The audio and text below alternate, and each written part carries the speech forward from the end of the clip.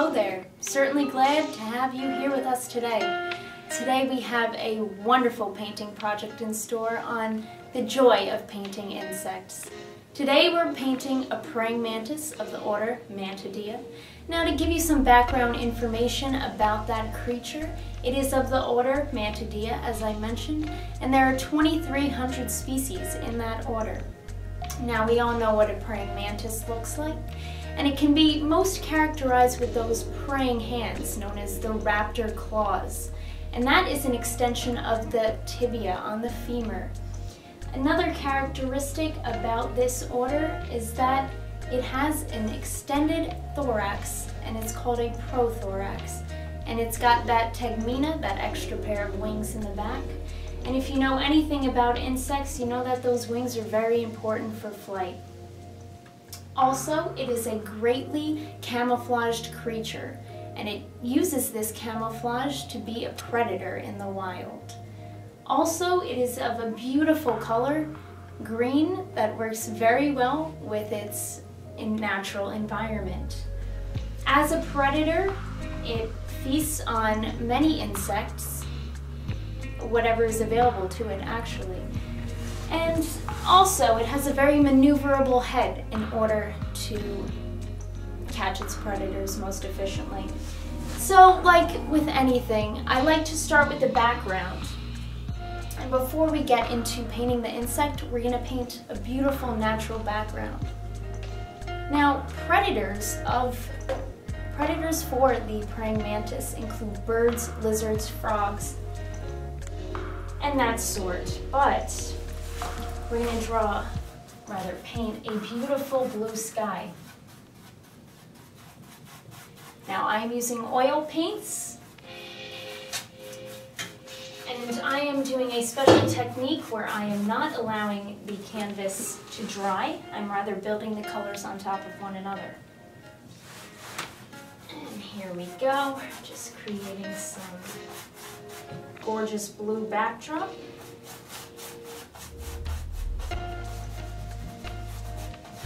And as well, we'll add in the green of the leaves as we go on.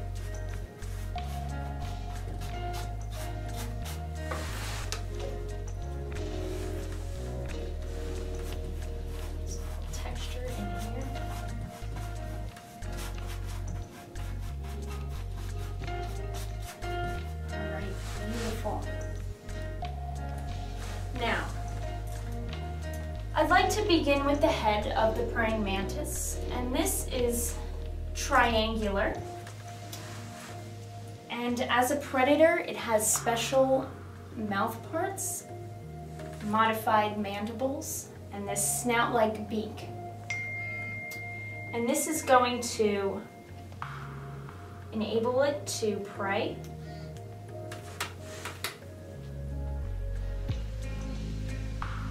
Here we go. So I'm just painting in this triangular head right here.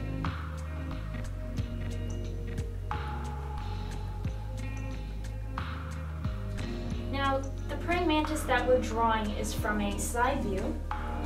So we're going to draw the snout facing down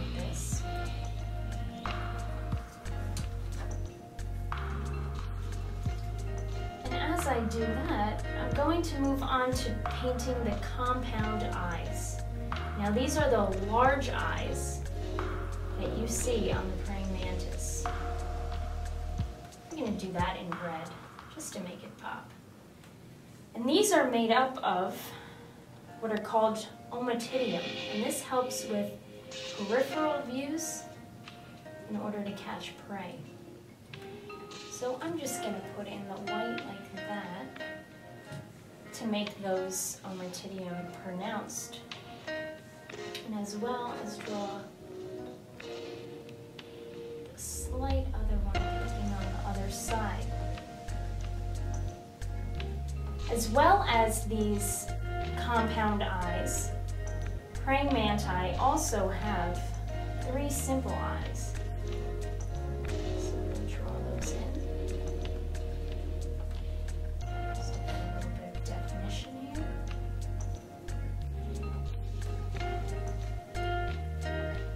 Again, like many insects, they have two antennae.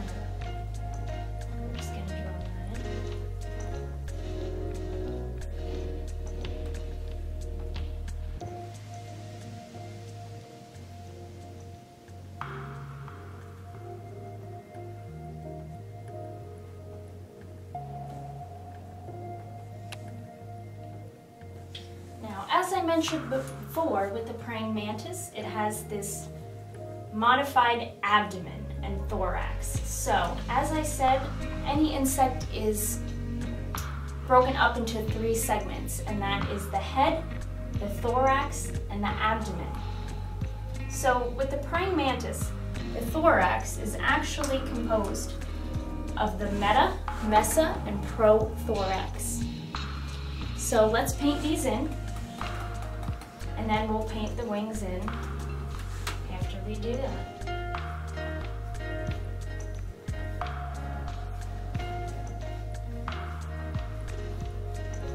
So right about over here is where this tegumenta would be. So we'll make that slightly defined.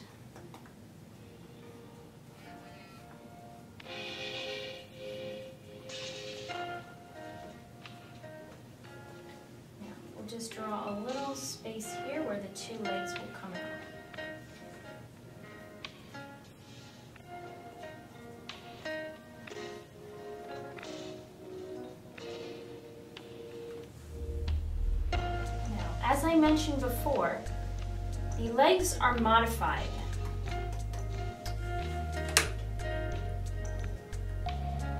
to be upright in this praying position and to hold prey. Now, the way they're painted, we begin with the coxa, as it's called. That's this larger upper part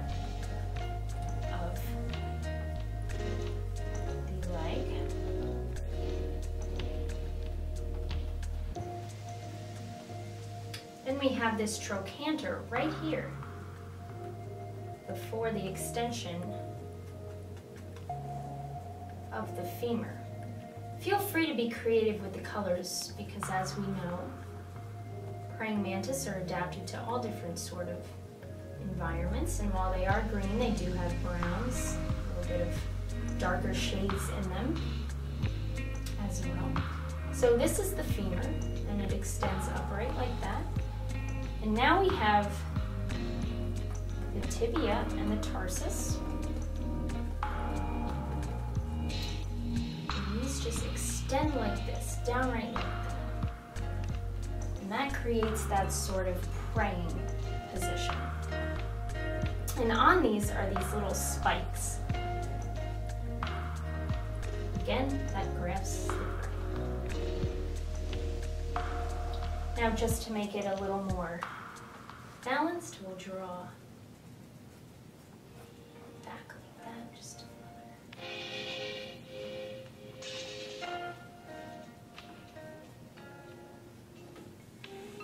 Okay.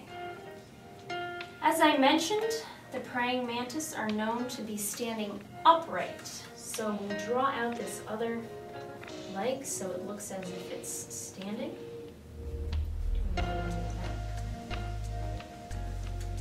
And now we can finally move on to the abdomen. So we completed the head, the thorax, and the abdomen. In the abdomen, processes such as excretion and reproduction occur.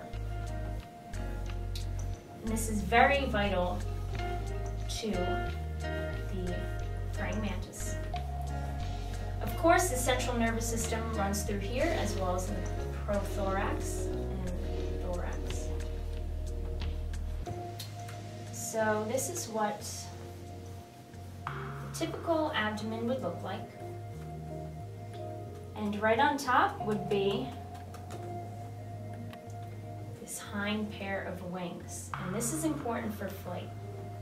And although praying mantis are diurnal creatures, which means they, you know, live and prey during the day, they do fly nocturnally. And this is important for attracting um, mates They actually smell out and seek out pheromones during the night. So this is what a typical abdomen would look like.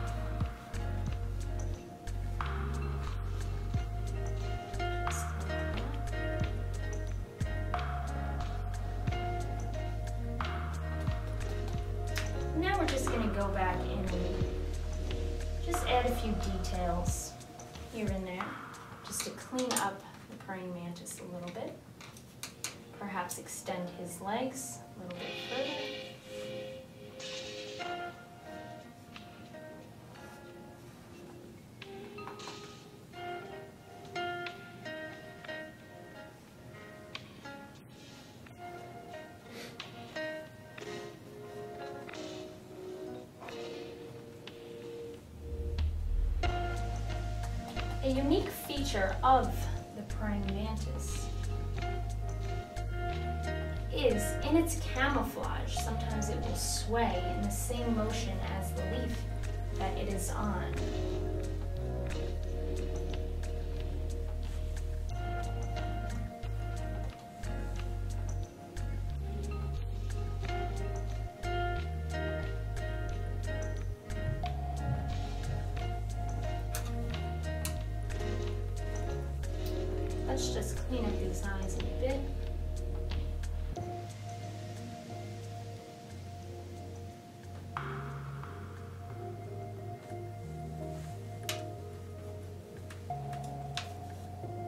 Okay, and now we could work on the leaf that he will actually be sitting atop.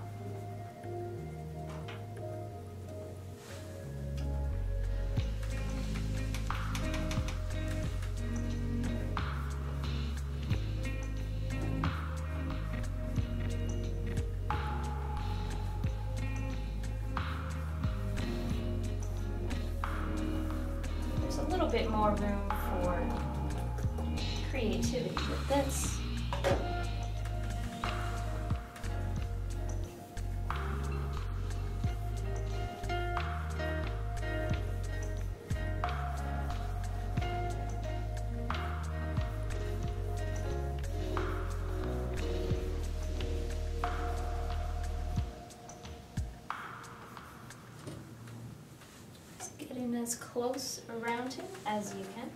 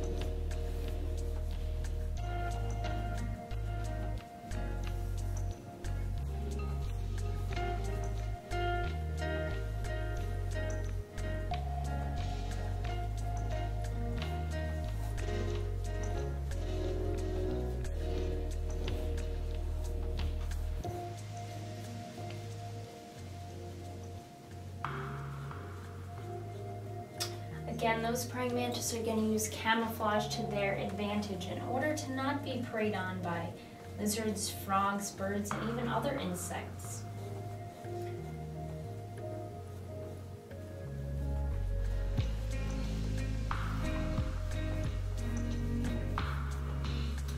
Now we can go ahead and complete the rest of the sky.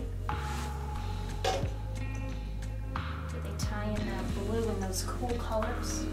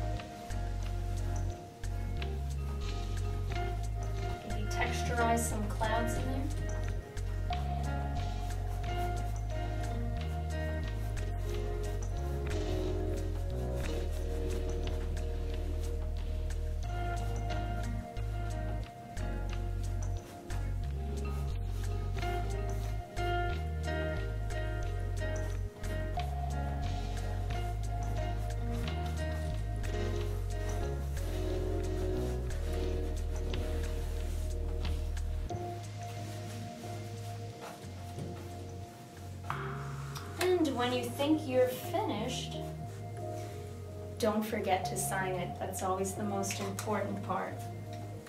Let me go ahead and do that in red right now.